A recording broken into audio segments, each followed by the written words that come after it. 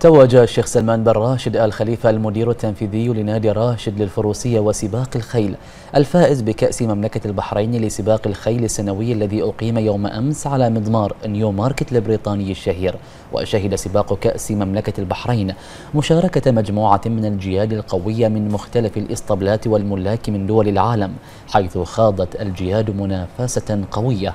وبعد ختام السباق قام الشيخ سلمان بن راشد آل خليفة بتقديم كأس مملكة البحرين إلى المالك بالمال وشركائه كما قدم جوائز للمضمر والفارس الفائزين بالمركز الأول من الشوط. وقد أكد الشيخ سلمان بن راشد آل خليفة على أهمية المكاسب والأصداء الإيجابية التي يحققها تنظيم سباقات سنوية برعاية ومساهمة مملكة البحرين الذي يعتبر أكبر وأعرق مضامير سباقات الخيل العالمية.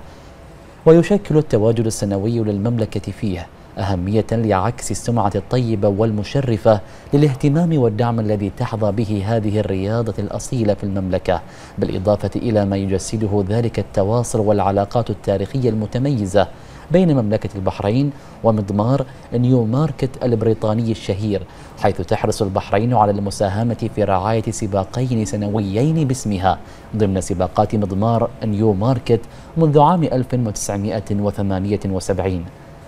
مشيرا إلى أن إقامة هذه السباقات برعاية مملكة البحرين والتواجد في المضامير العالمية يمثل فرصة لإبراز الجهود المستمرة لتطوير رياضة سباق الخيل في المملكة وارتقائها نحو المستويات العالية خصوصا مع الرؤية والخطط المستقبلية الموضوعة لهذه الرياضة الأصيلة والتطلع لإقامة السباقات الدولية على مضمار البحرين. وقدم المدير التنفيذي لنادي راشد الفروسية الشكر والتقدير إلى إدارة نادي مضمار نيو ماركت على التعاون والتنسيق المستمر في سبيل تنظيم سباق كأس البحرين وإنجاحه بالصورة المشرفة سنوياً.